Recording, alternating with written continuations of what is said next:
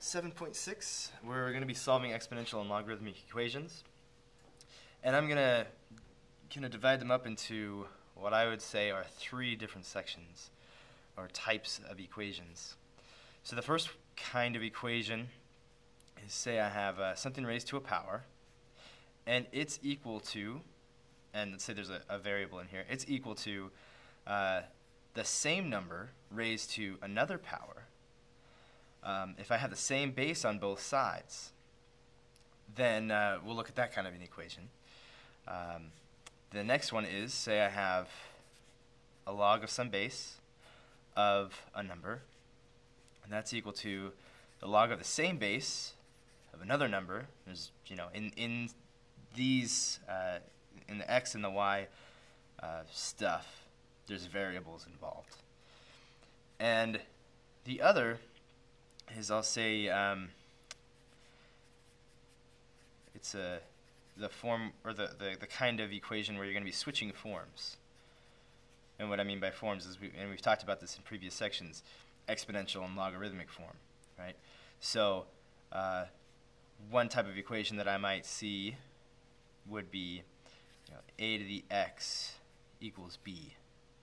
Um, I would take this kind of an equation and I would say log base a of b equals x.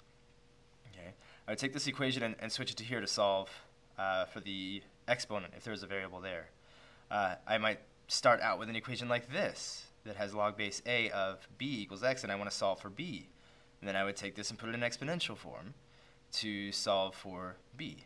Okay, so this would be what I would call the third form, where you're switching between exponential and logarithmic form, or going the other way. Okay. So let's talk about that first kind, where a to the x is equal to a to the y. And I just want to talk about the concepts really quickly. We won't do many examples because those are for the sample problem videos. Well, if a is raised to the x and a is raised to the y, and these two things are equal to each other, then it only makes sense that x would be equal to y. Just for example, if 5 is raised to the second power, and it's equal to 5, and I'm going to raise 5 to some power, I mean, think about what, what power I would have to put here. Would anything else other than 2 make any sense? Could we put a 1? Would that make any sense? Or a 5 or a negative 2? None of those things make sense. It would have to be a 2. So if this is an x here, and you're saying, what would I have to put there? Well, you would have to say that x is 2. Um, taking a little bit further, 3 is to the third, and it's equal to 3 to the uh, x minus 1, then we, we've got 3 and 3. The, the bases of the exponents are the same. So the only thing that makes sense is that these exponents would be the same, just like up here. If this is the third power, this would also have to be the third power. And if this is the third power, then the question is what's x, right? If this is 3, then what's x? x is 4, right? So that's the, the basic idea there. How about this one's a little bit uh, different looking, a little bit of a different, maybe more difficult to think about, right? This, this just falls right out of the sky. It's way easy, right? It just makes sense. This, it's a little more difficult to think about, but it shouldn't be.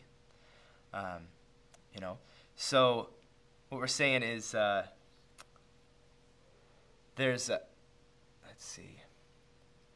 We're saying that I'm going to raise b to some power to get this number.